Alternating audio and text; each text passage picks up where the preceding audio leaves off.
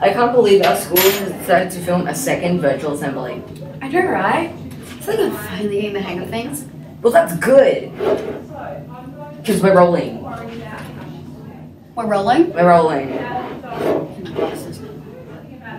We're rolling. Oh, oh, we're. We're rolling. Well, welcome everyone to our second virtual assembly, and I am very, very, very, very, very, very, very, very, very, very, very, very, very. We get it. You're very, very excited.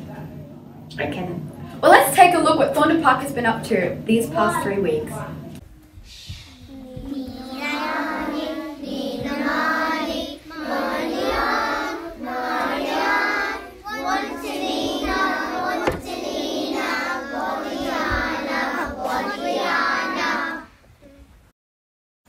We gather today in this special place to continue our learning journey together.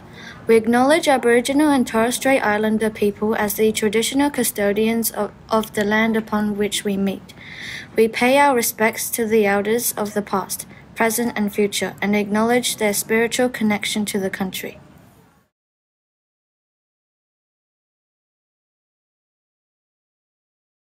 Twenty years ago, hundreds of thousands of Australians of all backgrounds came together in unity. and voted with their feet to walk together for reconciliation. over bridges right across Australia. We were in it together then. We're in this together now. Find out how you can be part of National Reconciliation Week 2020. at reconciliation.org.au. Every year, National Reconciliation Week is celebrated from the 27th of May to the 3rd of June. It is a time dedicated to building positive, respectful relationships between Australians and celebrating Indigenous culture. Every year, there is a theme connected to National Reconciliation Week, which reinforces the idea that we all have a part to play. The theme for 2020, In This Together, is a tribute to that. There are two important historical milestones that fall on National Reconciliation Week the anniversary of the 1967 referendum and the High Court Mabo decision. What was the 1967 referendum about? On the 27th of May 1967, Australians voted in favour of two changes to the Australian Constitution that discriminated against the Indigenous population. The first change meant that Indigenous Australians would be subject to the same laws as the rest of the population. This meant that Aboriginal people and Torres Strait Islanders could be protected by the same laws as the rest of the population, whereas previously their rights were inconsistent between states. The second change meant that Aboriginal and Torres Strait Islander people were included in the census. This was significant because it gave them visibility and access to essential funding and services they were previously deprived of. It's important to mention that these changes demonstrate a positive step towards reconciliation along the road to equality and justice. National Reconciliation Week is a time dedicated towards bringing Australia closer to that goal of unity while reflecting on the struggles of the past. What was the High Court Mabo decision? When Captain James Cook and the British landed on Australian soil, they declared the land terra nullius, no one's land. Such a declaration denied that the Aboriginal and Torres Strait Islander people already had occupation of the land. However, it was on the 3rd of June 1992 that the High Court of Australia reviewed this decision, deciding that it had been wrong for terra nullius to have been declared. This recognised instead that Aboriginal and Torres Strait Islander people are the rightful owners of the land, which was theirs long before the British arrived. This decision was called the Mabo Decision and is one of the key events celebrated by National Reconciliation Week. What does reconciliation mean? By definition, reconciliation refers to the mending of a damaged relationship. In the context of Australian history, it's the process of creating a just society that honours and respects the Indigenous population. By nurturing these relationships and working towards a fairer society, the hope is to create a better and more unified Australia for everyone. Today's assembly showcases themes around Reconciliation Week and inclusivity. We are all in this together. Let's take a look at how Thorndon Park Primary School has been celebrating this week. Oh wow, sorry, I was busy staring at the intriguing artworks made by Miss Pass's class. They are just so detailed. The artwork involved drawing crosshatch patterns on Australian animals. Let's take a look at their brilliant pieces of work. Last week we started our visual arts unit on Aboriginal artwork. We often associate dot painting with Aboriginal art, but there are so many more different techniques used in Aboriginal artwork. Some techniques we're going to learn about this time are sound drawing, rock art, body painting, bar painting, and X-ray art. The first technique we learnt about was cross-hatching. Cross-hatching is a common technique used in artworks from the northern part of Australia. Cross-hatching, also known as rarrk, was originally created using grass roots or even human hair. Nowadays, the fine strokes seen in cross-hatching are usually painted with bush brushes. Rock artworks are referred to as cross-hatching because of the technique of many parallel lines crossing over. A typical large painting can take an artist up to a year to complete. Cross-hatching artworks represent na- na- native animals such as sea creatures, marsupials and reptiles. We have attempted our own cross-hatching artworks using paper and textile. First, we choose a native Australian animal to draw an outline of. Then we got to work on our cross-hatching. To make the parts of our artwork appear darker, we needed to draw the lines and crisscrosses very close together. To make parts of our artwork seem lighter, our lines needed to be further apart. Here are some of the cross-hatching artwork. Thanks for listening. Why do you keep saying that? Because Mr. Class is singing it today in Kaurna. Did they have it on video? Yeah, come on, let's go see.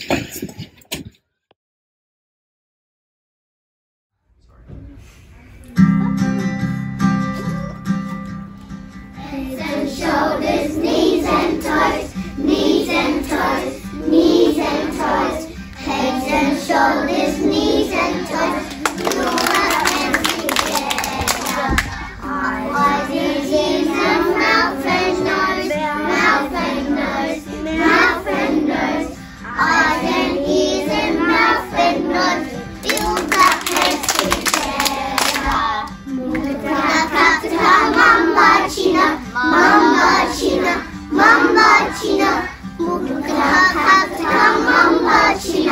Have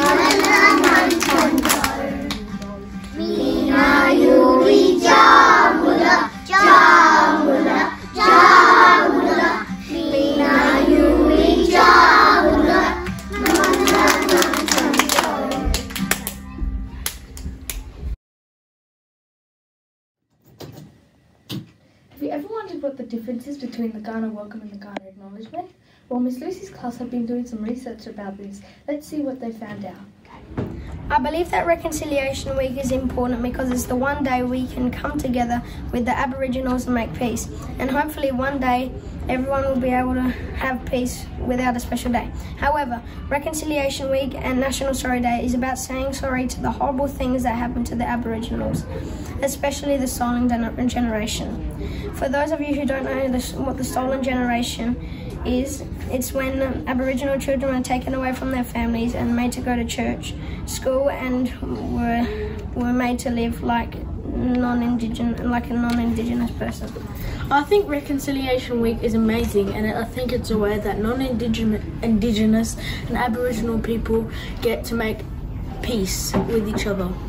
I have learned that anyone, including non-indigenous people, can do an acknowledgement to country, but only Aboriginal people can do a welcome to country.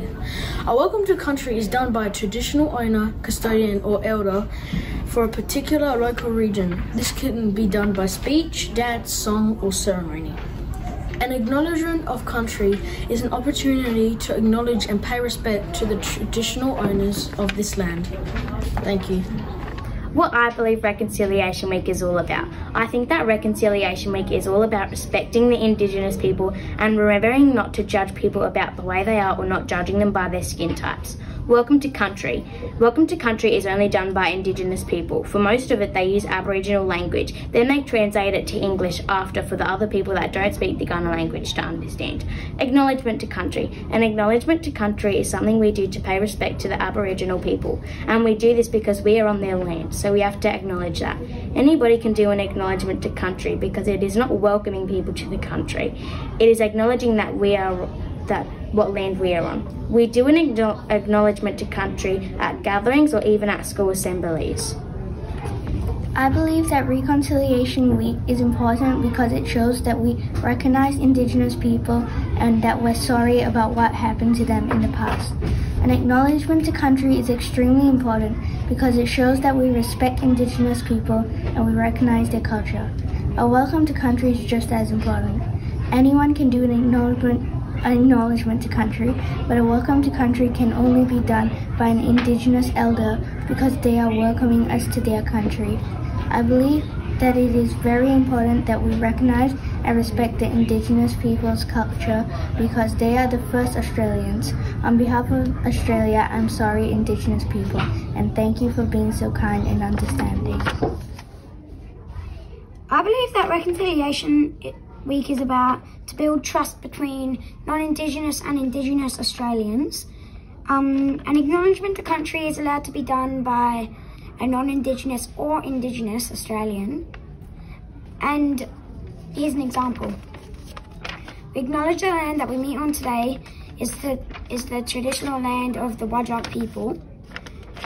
Um, and their spiritual and relationships with their country are still important to the living Whadjuk people today. Um, uh, welcome to country is only allowed to be done by a traditional elder or a elder or a traditional owner. I believe that Reconciliation Week is important for all Australians to know about because Aboriginal and Torres Strait Islander people have been put through torture and deserve a huge apology. They have lost their children in the past when non Indigenous people stole them and forced them to believe in their religion and to go to school. It is now called the Stolen Generation. Indigenous people need to have a day that tells other Australian cultures about their losses. All Australians should say sorry. I have also learnt that a welcome to country can only be done by an Indigenous elder, custodian, or traditional owner. It can be done in the form of speech, song, dance, or ceremony as in an acknowledgement to country can be done by anyone and is normally done at an important event such as meetings, assemblies and more. We do an acknowledgement to country at our assemblies. We need to learn about Indigenous culture to increase awareness about their culture. This will help us create a more united Australia that celebrates and embraces our first Australians. Ms McLaughlin's class have been learning to use keyword signs to promote communication in their classroom. They've all been working hard at learning this new mode of communication and would like to showcase a song they have been learning using keyword signs.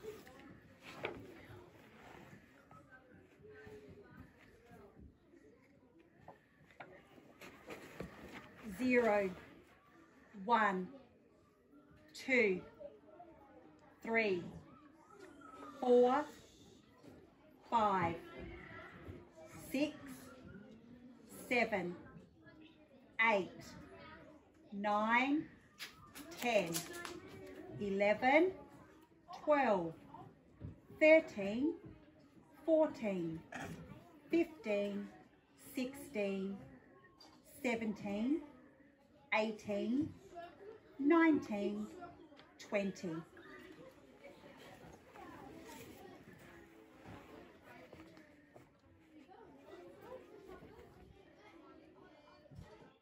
Using keyword sign language is so awesome because it's so inclusive. So are the house points because anyone can earn points for their teams. Now the house captains are going to tell us who is in the lead at this point in time. In third place, we have green on 118 points. In second place, we have gold on 128 points. In equal first place, we have blue and red on 129 points. Sorry, have you received a values award this term? No, I haven't. Actually, I wonder who's going to get them this week. Well, Napier's about to read them out. Quick, let's go before we miss it. For creativity, we've got Melanie, Evie, Lisa, Leo, Stefania, Beatrice, Kayla, Nicholas, Ella, and Amelia.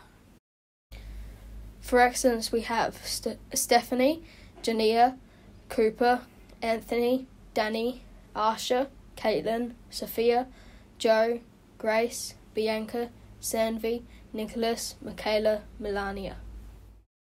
For resilience, we have Dante, Ronav, Billy, Charlie, Flynn, Hannah, Olivia, Chloe, Andreas, Hugo, Tina, Oscar, Anna, Annabelle, and Rovan.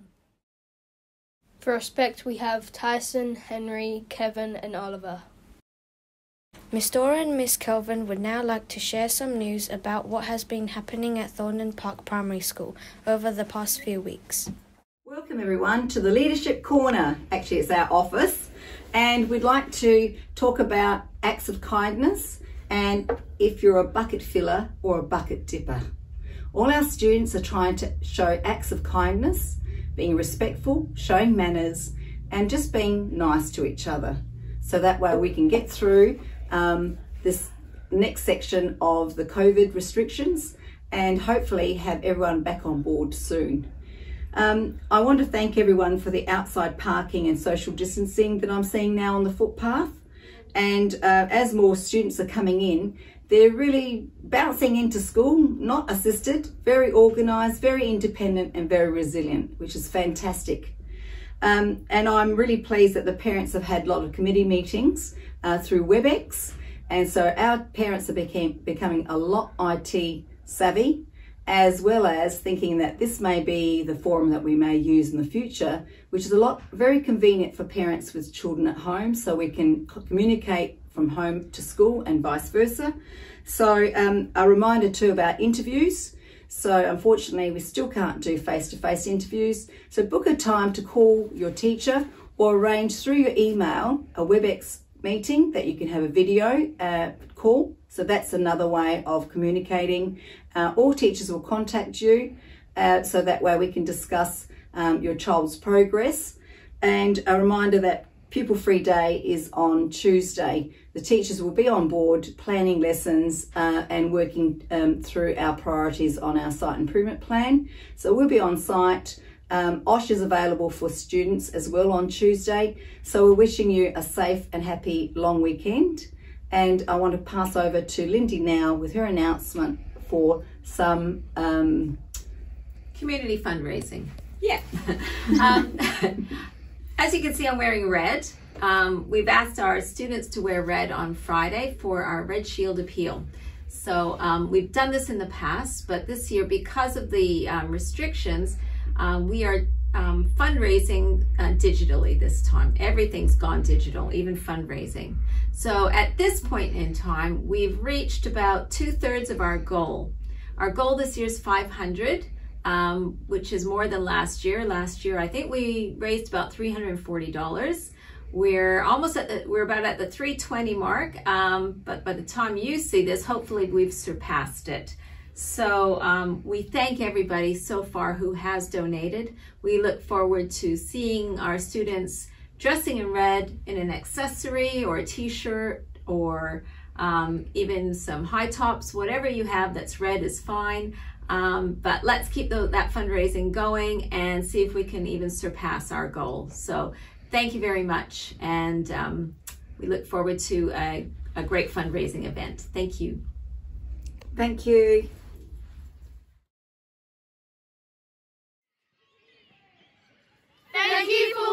our second virtual assembly. And remember, we're all in this together.